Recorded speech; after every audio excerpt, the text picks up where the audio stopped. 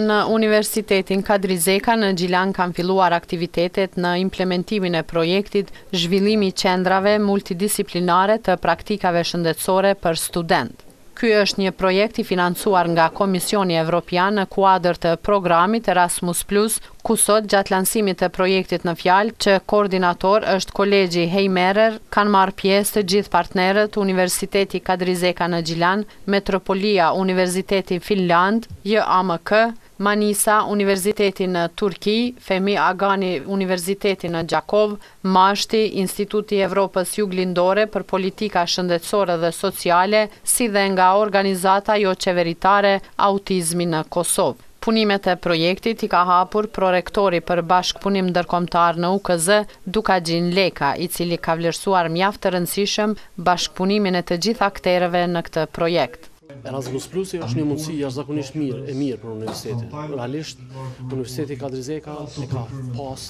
që nga fillimi, domethënë që nga ardhja e rektorit të ri, ka pas në fokus bashkëpunimin ndërkombëtar dhe zhvillimin e projekteve. Erasmus Plus-i përfshin të dyjat dhe në kuadër të këtyre dyja, bashkëpunimit ndërkombëtar dhe zhvillimit të projekteve, ngritet cilësia në arsim. Dhe duke u ngritë cilësia në arsim, gjithashtu ngritet cilësia dhe vetë e Universitetit Kadri Zeka. Për këtë arsye ne e kemi vendos fokusin në bashkëpunim ndërkombëtar dhe zhvillim projekteve, sidomos në Erasmus Plus, me qëllimin e vetëm që të zhvillohemi nëpërmjet projekteve. Ndërsa prorektorja për çështje akademike në UKZ, Shpresa Qamili, në emër të rektorit Bajram Kosumi i ka përshëndetur të pranishmit derisa ka uruar që punët në këtë projekt të ecin mbarë.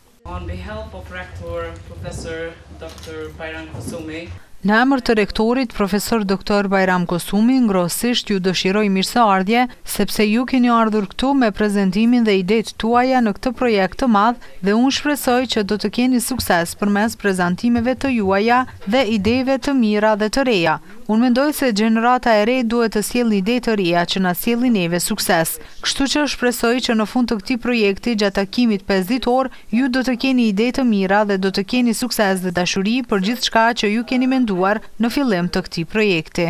Kurse Naime Brajshori nga Kolegji Heimerer ka thënë se është e motivuar dhe e lumtur me fillimin e projektit më unik që është financuar nga Erasmus Plus, gjegjësisht nga fondet e Bashkimit Evropian në Kosovë për faktin se projekti që me raundin e parë është vlerësuar për mbështetje duke qenë në garë me qindra universitete evropiane e botërore dhe përmban partneritete vendore dhe ndërkombëtare të cilat janë përfituese të zhvillimit të praktikave profesionale multidisiplinare shëndetësore me metodat më moderne evropiane, me metoda të mësimdhënies, të cilat gjejnë zbatim jo vetëm në Finlandë si një ndër shtetet elite për cilësi në arsim, por edhe më gjerë.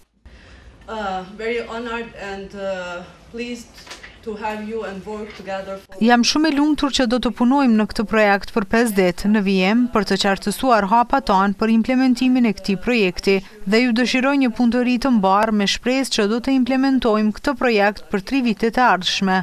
Më pas secili përfaqësues pjesëmarrës në projekt ka bërë prezantimin e institucioneve që ata përfaqësojnë dhe kanë paraqitur mënyrën e bashkëpunimit të ndërsjellë. Aktivitetet do të vazhdojnë të zhvillohen në UKZ çdo ditë nga ora dhjetë deri në orën pesëmbëdhjetë me njëzet e pesë janar. Ndryshe, zbatimi i projektit Zhvillimi i Qendrave Multidisiplinare të Praktikave Shëndetësore për Studentë, që është i pari i këtij lloji në Kosovë, do të bëhet nëpërmjet të rrjeteve, punëtorive, vizitave studimore, qarqeve rajonale të studimit, seminareve reflektuese, si dhe shkëmbimit të njohurive dhe mësimeve të bazuara në praktikë. Ky projekt është i financuar nga Programi Erasmus Plus i Unionit Evropian dhe përfshin një konsorcium prej nëntë partnerëve, prej tyre gjashtë partnerë vendorë dhe tre evropianë. Janë gjashtë institucione të arsimit të lartë, dy organizata joqeveritare dhe MASHT-i.